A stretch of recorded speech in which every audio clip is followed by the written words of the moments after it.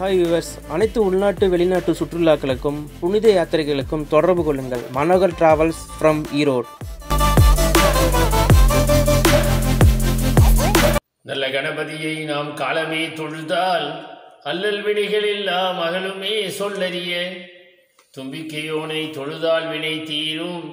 நம்பிக்கையுண்டே நமக்கு.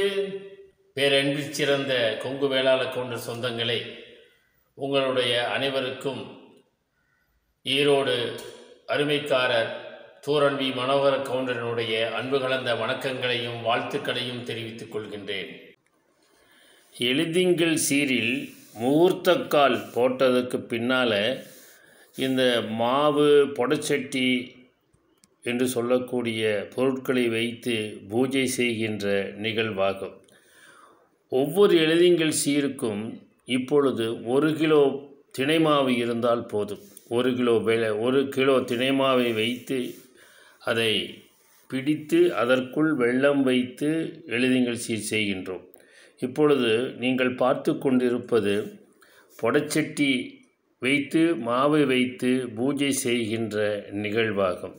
ஒரு பானை இருக்கும் அதற்கு மேலே ஒரு தடைச்சட்டி வைத்து அதற்கு மேலே மூடுகின்ற பானைக்கு பொடச்சட்டி என்று பெயர். இப்போ பத்து எழுதிங்கள் பண்ணுனா அந்த பத்து எழுதிங்களுக்கு இருபது பானைகளை வைத்து இப்பொழுது அருமைக்காரர் பூஜை செய்து கொண்டிருக்கின்றார்.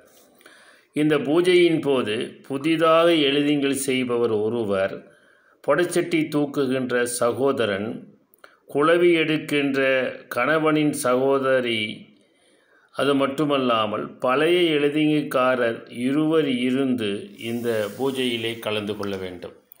முதலிலே விநாயகருக்கு பூஜை செய்து அருமைக்காரர் விபூதி எடுத்து அந்த மாவின் மீதும் அந்த பானையிலும் உள்ளே போட்டு அதை பூஜை செய்கின்றார். இப்பொழுது நீங்கள் அதை பார்த்து கொண்டிருக்கின்றீர்கள்.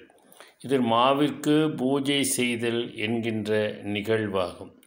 இந்த பூஜை முடித்தவுடன் அந்த ஐந்து பேருக்கும் வெற்றிலை பாக்கு கொடுப்பார்கள். இப்போ இந்த தீபா இந்த பூஜையினுடைய தீபாதரனை எல்லோரும் அவர்கள் வணங்குகிறார்கள். இப்போ மாவுக்கு தண்ணீர் தெளித்தல். அருமைக்காரர் மூன்று முறை மாவுக்கு தண்ணீர் தெளித்து மூன்று முறை தண்ணீர் ஊற்றி மாவை பிசைய கொஞ்சம் பிசைந்து இந்த இதை ஆரம்பிப்பார். மூன்று குண்டாவில் இருக்கின்ற மாவுக்கு இப்பொழுது மாவுக்கு பூஜை செய்கின்றார். இந்த ஒரு கிலோ தினை மாவு இப்போ வெற்றிலை பாக்கு கொடுக்கப்படுகிறது. ஏன்னா சீர்கள் பண்ணும்போது சீர்கள் செய்பவர்கள் வெற்றிலை பாக்கு வாங்கித்தான் சீர்கள் செய்ய வேண்டும்.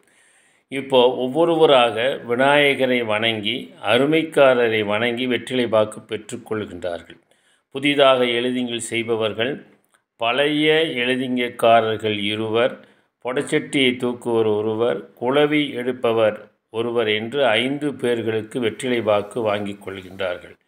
இந்த வெற்றிலை வாக்கு கொடுப்பதன் நோக்கம் ஒவ்வொரு கொங்கு வேளாள கவுண்டர்களுடைய சீர்களிலே ஒவ்வொரு சீர்களிலும் வெற்றிலை வாக்கு வாங்கித்தான் சீர் செய்ய வேண்டும்.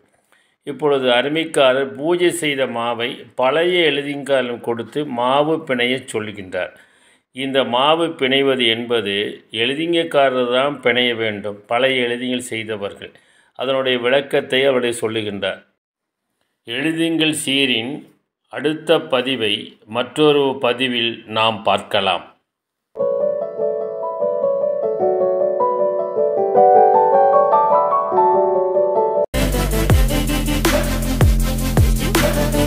Hi viewers, if you want to go for spiritual tourism and pleasure tourism then contact the below details about Manago Travels from Erode